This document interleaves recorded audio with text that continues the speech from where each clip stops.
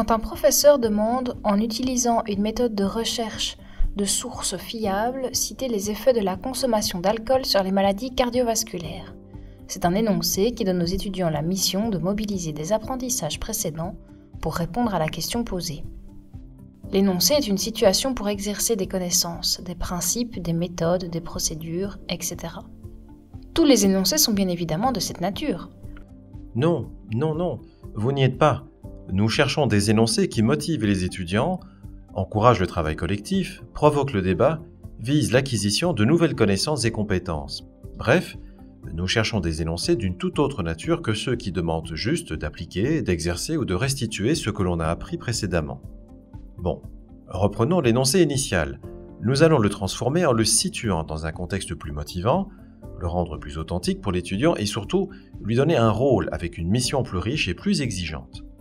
Nous cherchons à créer une situation visant de nouveaux apprentissages que nous appellerons situation pour apprendre. Le ministre de la Santé voit rouge car un groupe de parlementaires, issus de circonscriptions vinicoles, a déposé une proposition de loi qui préconise d'enseigner aux élèves du secondaire les bienfaits du vin pour la santé. De quoi choquer le ministre qui ironise Pourquoi ne pas recommander la mini canette de vin à la cantine tant qu'on y est? Après avoir réagi à chaud plutôt vivement, le ministre aimerait un avis éclairé. Il désigne un groupe d'experts pluridisciplinaires, vous, afin de préparer un rapport à présenter au Parlement. Ce rapport doit non seulement présenter objectivement les effets de la consommation d'alcool sur la santé, mais il doit également proposer les éléments d'une campagne d'information à destination des jeunes. Quelles sont les caractéristiques d'une situation qui suscite de nouveaux apprentissages? Le point de départ, c'est de bien identifier les composantes du traitement recherché par la mission à donner aux étudiants. L'étudiant est confronté à une situation qui évoque celle qu'il rencontre ou qu'il rencontrera dans la vie réelle, ou qu'il pourrait rencontrer dans sa future pratique professionnelle. L'apprentissage se fait en partie de manière coopérative et en partie de manière autonome. Un tuteur accompagne les étudiants lors du travail coopératif. L'objectif est de viser l'acquisition de connaissances et de compétences. On peut alors préciser les différences entre une situation pour exercer et une situation pour apprendre. À partir d'une situation pour exercer, l'étudiant applique des concepts, des définitions, des méthodes, des procédures connues dans le but principal de consolider ses apprentissages antérieurs. En s'attelant à une situation pour apprendre, l'étudiant est amené à acquérir de nouvelles connaissances et compétences tout en mobilisant des acquis antérieurs. La situation pour apprendre est scénarisée. Elle comporte un contexte et une mission. Elle peut faire référence à des éléments supplémentaires, tels des articles, des extraits de films, des consignes, utiles pour mener à bien la mission.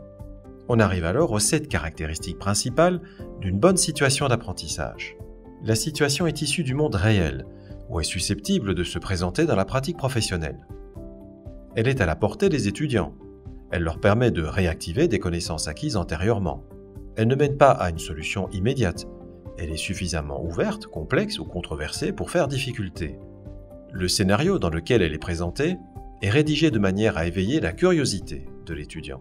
Elle laisse de l'autonomie aux étudiants. Elle leur donne l'occasion d'exercer un contrôle sur la tâche. Elle favorise la collaboration de tous les membres du groupe. Elle présente aux yeux des étudiants une plus-value en termes d'apprentissage. Oui, pas mal, mais pratiquement. Je fais comment, moi? Attends, attends. Avant d'aller plus loin, il nous manque une distinction entre une situation pour produire et une situation pour expliquer, qui sont deux cas différents de situations visant de nouveaux apprentissages. Les situations pour produire mènent souvent à un dispositif de type projet. On parle parfois aussi de projet de production ou de projet de conception. Il y a toujours un ou plusieurs livrables à produire comme résultat de dispositif. D'autre part, il y a les situations pour expliquer, qui mènent plutôt à des dispositifs de type apprentissage par problème. Ici, les étudiants sont placés devant des questions, des défis, des paradoxes.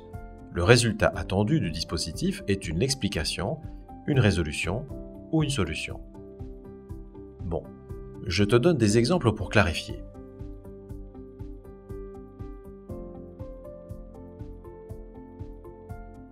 La situation dans laquelle le ministre vous demande un rapport est une situation pour produire. Une situation pour expliquer pourrait être celle-ci. La France et la Suède sont en Europe deux des pays qui, en 2018, avaient la plus longue espérance de vie, 83 ans. La consommation de vin annuelle par personne est de 45 litres en France et de 23 litres en Suède.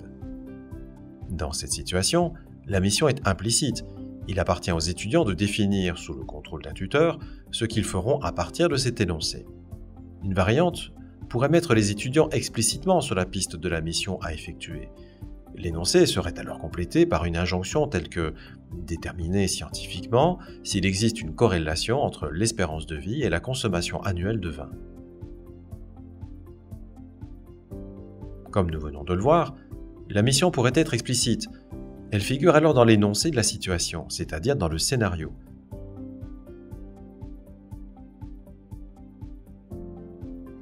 C'est le cas le plus simple, mais celui qui laisse peu d'initiative aux étudiants. La mission peut également être implicite. Le scénario comporte une contradiction, un paradoxe, une incohérence ou un défi. Il appartient alors aux apprenants eux-mêmes de formuler leur mission de manière explicite. Dans ce cas, une discussion entre les étudiants est utile pour faire apparaître les différentes pistes possibles et effectuer un choix. Un autre exemple. La société Krogburger souhaite lancer un marché pour la réfection des installations électriques de ses 200 établissements en France. Elle lance un appel pour réaliser le travail sur un restaurant pilote. Vous êtes employé dans une société de fourniture d'installations électriques. La variante pour produire pourrait être votre patron vous demande de faire l'étude complète de cette réalisation. Et la variante pour expliquer, votre patron vous demande une étude comparative entre le courant triphasé et le courant monophasé dans ce type d'application. Un dernier exemple.